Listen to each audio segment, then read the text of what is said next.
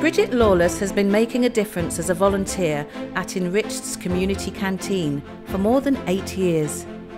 In that time, she has clocked up more than 350 sessions and around 1,500 hours of her own time to help and support others. The canteen turns surplus food into healthy three course meals for local residents, and Bridget is at the centre of all the wonderful work it provides.